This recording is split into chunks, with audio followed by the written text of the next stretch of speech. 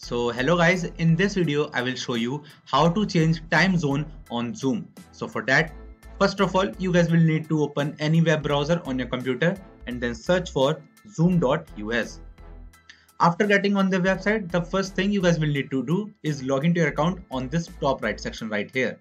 So after that, you guys will be able to see this option right here, which is called my account. Now just select it and you guys will get on the profile page.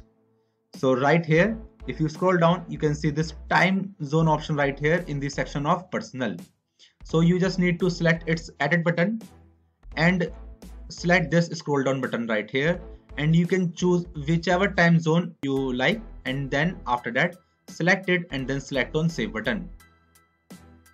And now guys you have successfully changed your setting and changed your time zone according to yourself on Zoom.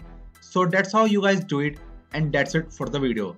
So if you find this video helpful then make sure to share it with your friends and also subscribe to our channel for more such videos. And thanks for watching.